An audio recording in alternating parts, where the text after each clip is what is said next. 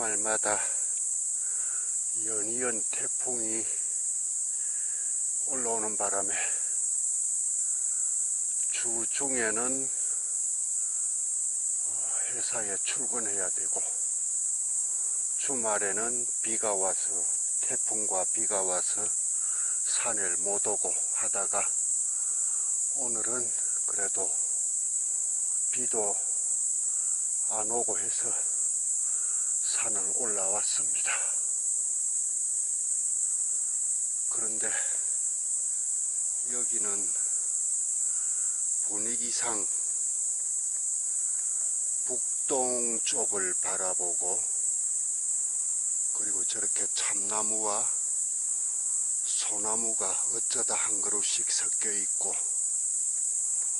또 다른 활엽수 어린 나무들이 이렇게 군데군데 자라고 있고 또 땅에는 이렇게 바위 덩어리들이 모여 있는 그야말로 능이 나기에는 100%의 조건을 갖추고 있는 곳입니다. 그런데도 불구하고 숨이 가쁘도록 올라왔는데도 불구하고 능이버섯은커녕 독버섯조차도 하나 안 보입니다. 비가 너무 많이 와도 버섯 포자들이 빗물에 씻게 내려가서 버섯이 안 핀다는 얘기가 있는데 정말 올해가 그런 것 같습니다.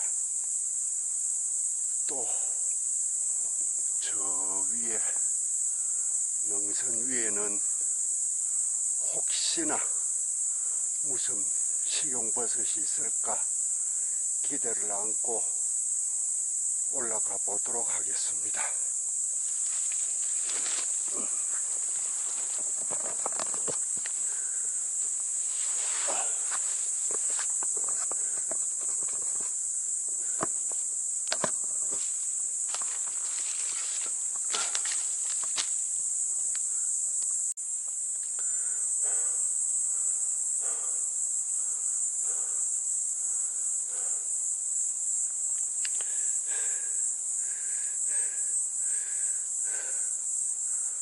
태풍이 링링, 링링 때부터 요번에 거쳐간 태풍까지 올 때마다, 올라올 때마다 지리산에 엄청난 양의 비를 쏟고 지내갔습니다. 그래서 그런지 정말 독버섯 하나 없이 깨끗한 와중에 그나마 식용버섯인 다발 방패버섯이 비를 맞고 다 썩어가고 있습니다. 올 가을에는 버섯 볼이라는 희망을 버려야 되겠습니다.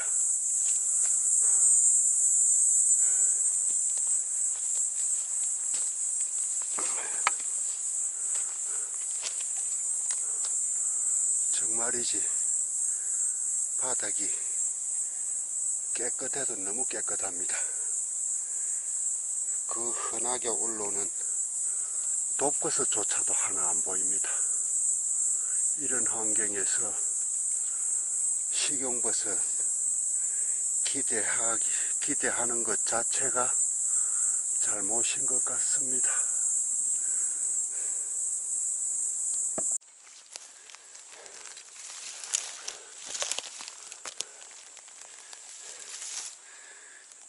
간혹 깨꼬리 버섯은 보입니다만은 예전처럼 엄청나게 많이 올라오는 것도 아니고 이렇게 군데군데 조금씩 조금씩 이렇게 모여서 피어나고 피어났습니다.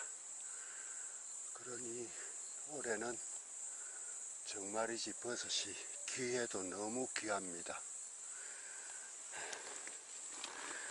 수 없이 깨끗한 식용버섯이라고는 이 깨꼬리 버섯밖에 없으니까 이거라도 채취에다가 아, 요리에 써야 되겠습니다.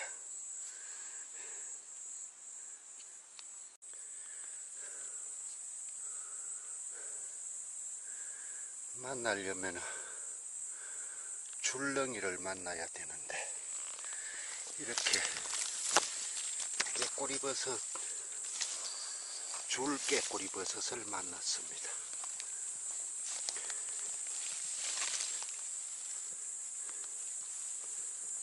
옛날에는 이 능이버섯이 이렇게 줄로 난 걸 만난 적이 있었는데 올해는 능이는 커녕 흔한 독버섯조차도 하나 안 보이고 그나마 깨꼬리 버섯도 많이 난 것도 아니고 바로 여기서 조금만 이렇게 벗어나가면은 깨끗합니다. 땅이 아주 그만 잡버섯 하나 없이 깨끗하고 여기서만 이렇게 깨꼬리 버섯이 줄로 이렇게 나가 있습니다. 올해 정말 버섯 흉년인 것 같습니다.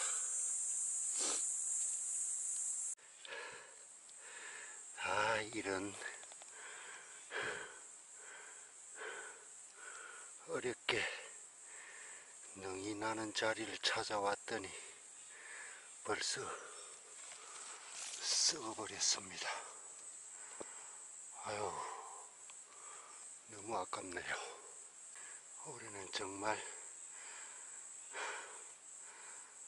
버섯 만나기가 이렇게 힘듭니다. 예전에 여기서 능이를 대량으로 땄던 곳인데 다른 잡버섯조차도 없어서 그리고 여기를 얼마 전에도 태풍 오기 전에 한번 왔다 갔었는데 그때는 능이가 올라온 게 없더니 태풍 두 개 올라오면서 주말에 비가 와서 주중에는 출근하느라고 못 오고 쉬는 주말에는 태풍이 와서 못 오고 결국엔 이렇게 썩은 걸 보게 됩니다. 아유, 크기도 상당히 컸었는데 너무 아깝네요.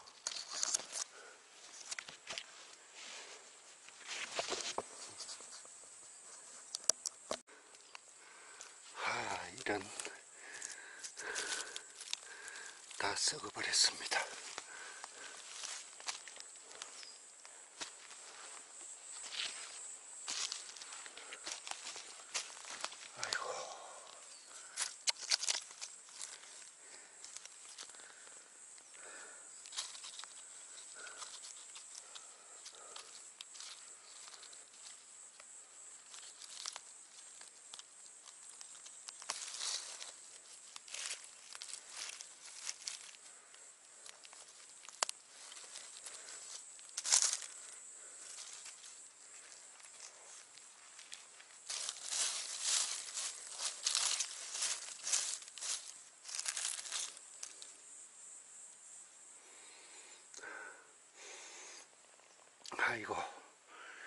그래도 능이 냄새는 맡아봅니다.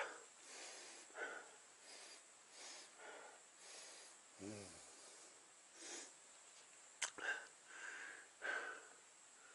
근데 이제 썩다 보니까 간장 썩는 냄새밖에 안 납니다.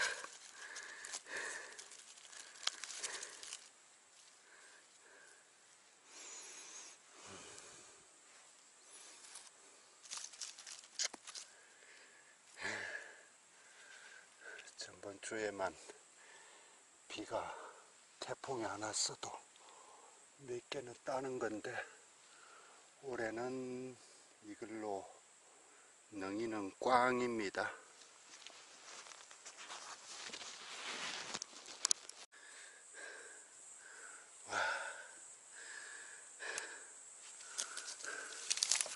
썩은 능이만 보고 그냥 돌아서기에는 너무 미련이 남아서 주변을 헤매고 돌아다니다가 예전에는 전혀 나지 않던 곳에서 발견했습니다.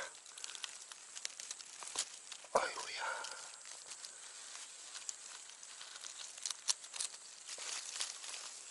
우와.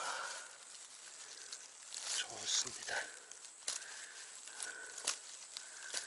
포자 밑에 있는 포자는 긁어서 다시 묻어줘야 내년에 또 만날 수가 있습니다.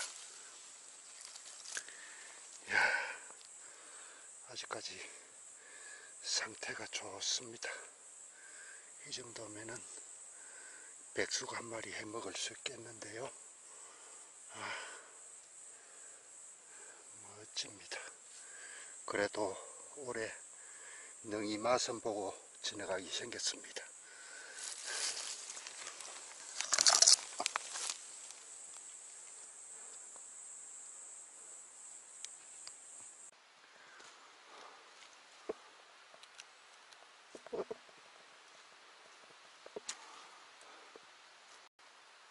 죽은 소나무에서 소나무 잔나비 걸상이 유생이 붙어서 지금 자라고 있습니다. 이게 크면은 아주 엄청나게 큰 크기로 자랍니다. 근데 이제 지금은 유생이 돼서 아직 어리네요.